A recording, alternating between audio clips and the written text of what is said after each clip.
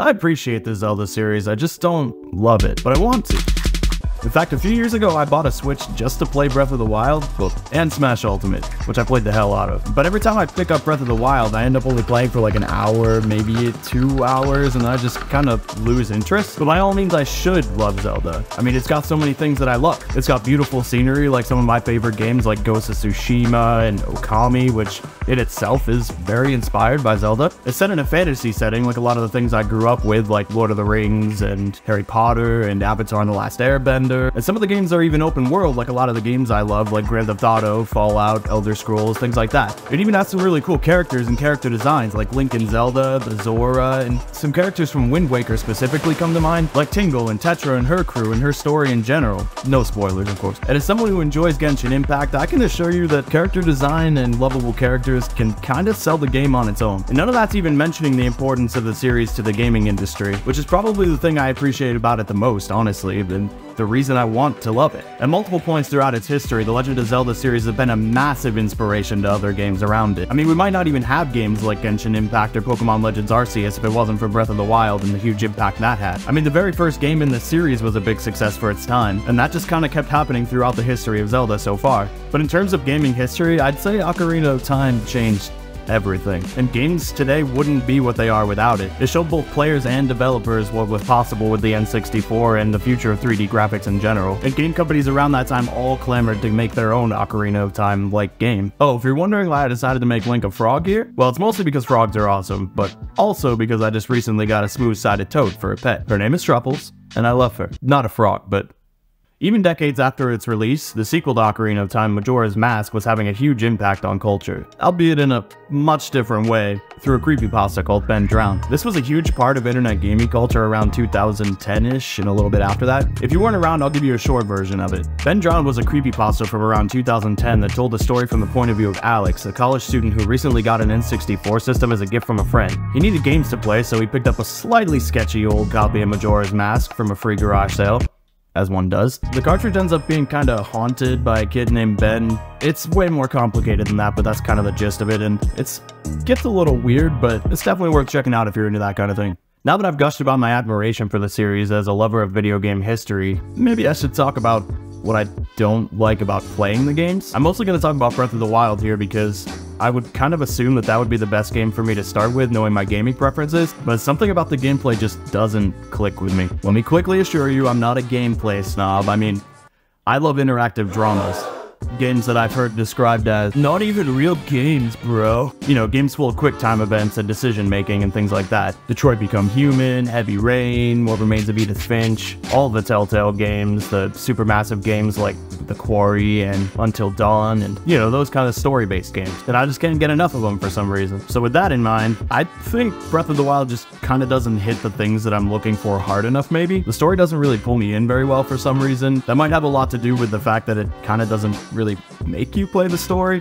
which is fine. Like, I'm all for player freedom, but like, give me a reason to play the story, you know? The gameplay itself isn't really all that exciting for me, and sometimes it's honestly downright frustrating. I specifically hold a grudge against Breath of the Wild for the whole keep yourself from freezing gameplay aspect, because I absolutely hate those sections in Genshin Impact and Ghost of Tsushima, and I don't think they would have been as popular if it weren't for Breath of the Wild. I mean, I've heard they were around before Breath of the Wild, but it was definitely popularized around that time period. Also, the weapon breaking mechanics, not a big fan personally. I don't really like having to replace my weapon frequently. I don't mind it so much in dungeon crawlers like Diablo and Baldur's Gate, but it does still get a little tedious even in games like that. It's a big reason I stopped playing Elder Scrolls Online and don't really play MMOs in general, honestly. The atmosphere and setting of Breath of the Wild are pretty cool, but they're not enough to keep me in on their own. So from what I've heard, Tears of the Kingdom is kind of like Breath of the Wild, but better, which is probably great for people who love Breath of the Wild, but it kind of makes it harder for me to start there. I mean, the new additions to the game seem like they're pretty cool, so I've definitely thought about picking it up, but I'm not sure if enough is different for me if I didn't really like Breath of the Wild in the first place. It also seems like people are saying it takes like 70 to 80 hours to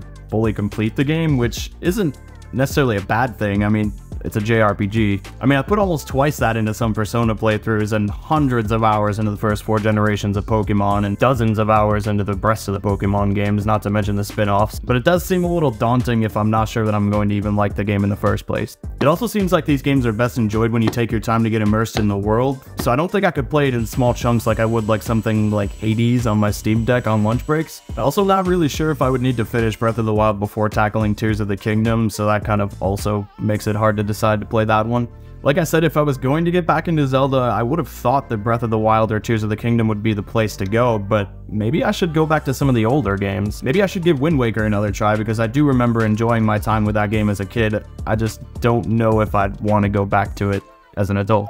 But I wanted to know which games people loved the most and what they loved about them and what memories they had of playing them. So naturally, I turned to Reddit. First, I asked specifically about Breath of the Wild in that subreddit, and I got a handful of responses such as this one. I love the music in the world itself, but the best part of the game was facing Ganon after conquering all four divine beasts, and the scene of the four champions unleashing on Ganon.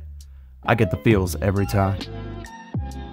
Um, I only just got to the first Divine Beast and I didn't even start the battle yet. Like, I'm right before that, so I don't know exactly much about the Divine Beast, but a lot of people actually seem to really love the music, and that kind of carries through the other posts as well, but we'll get there. And I can definitely understand that. I mean, one of my favorite things about Zelda is the music. I mean, I even have that.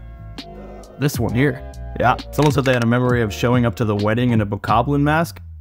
Don't know what that one means, but this person says, loved all the varieties in armor. Unrelated, but I've been replaying through Breath of the Wild and I've been collecting all the armor. And because I have a serious case of always getting burnt out, I'm now scared because most of the armors are coming back. I can definitely see that. I, I know a lot of people like to switch up gear and that's a big appeal of MMOs and RPGs in general. It's just kind of not always my thing. Or I just don't like it as frequent, I guess, as a lot of games do it. And then there was this one that said, when you first make your way to Zora's domain and you are ambushed by Lizalfos, that how you pronounce that? With their electric arrows being amplified by the constant rain, that was a thrilling gauntlet that felt completely organic. Yeah, I've been to the Zora domain, so that I vaguely remember that. I haven't finished yet either, I just love how big the game is, how much there is to do. I don't have the most time to game, so being able to come back to it and find new things is amazing. If it weren't for Tears of the Kingdom, I could see myself playing this game for years. So this person seems to be in my position where they have a life outside of gaming, you know, with a full-time job and a desire to make art and make videos, but uh, they seem to persevere through it, so maybe I could too. This person actually kind of gives me advice on how to do that. Embrace the limited time. Set small goals for you to do, and when that's done, smile and work on the other tasks in your life. Yeah, decent advice. If I uh, decide to get back into the game, I guess I'll do that. So then I decided to get more general and ask in the main Zelda sub what people's favorite game was and why. Not as many responses here, but here's what we got. This person says Majora's Mask versus A Link to the Past, so I assume those are their two favorite games and they kind of switch between which one's their favorite. They love the gameplay, graphics, music, and storyline of Majora. And they said, A Link to the Past is just a nostalgic feel for me and the game that launched me into the franchise will always have a place in my heart. Yeah, that makes sense. I feel like that's probably my situation with Wind Waker. I like that one the best because it was the first one I really played. This person says, Twilight Princess, Breath of the Wild, Ocarina of Time in that order. Quick note here, the glitter was a huge mistake. I ordered some mirror powder stuff online to put on the sword to make it all shimmery, but uh, this is what came instead and uh, it didn't really work. I tried to use it anyway, yeah, bad idea. There's glitter everywhere now, including the rest of his statue and my entire workspace. This person says, a bit of a minority take with this one, but Skyward Sword. Yeah, actually I've heard a lot of people didn't like that one or just didn't play it because, you know, the Wii U. I think it was also on the Wii. But I think it was mainly for the Wii U. It might have got remastered for Switch it's available and people seem to like it when they do play it. Definitely some backtracking issues and the intro is pretty slow to get going, but it's got a great story, great characters, has my favorite character in the series with Groose, and maybe my favorite incarnation of Zelda as well. Wonderful art style and music, I actually had very little issue with the motion controls and thought that they made combat more engaging and interesting, and its tools and dungeons are just excellent. The large areas themselves also act as pseudo-dungeons in a way that make exploring them fun at least the first time through. So what I took away from that one was that people seem to like different games for different reasons and everyone has their own favorites that fit them the best. Which to me shows that the Zelda series' focus on quality and diversity seems to have paid off for it really well. It also kind of makes my task of figuring out which one to start with a little more difficult because so many people like so many of them. I'd love to hear what your advice for someone in my position would be though, and what your favorite Zelda games are and why. I don't know. Hopefully I'll stumble upon a reason to play the Zelda games again, but for now I think I'll just keep observing them from the sidelines. Thank you so much for watching, good luck, have fun.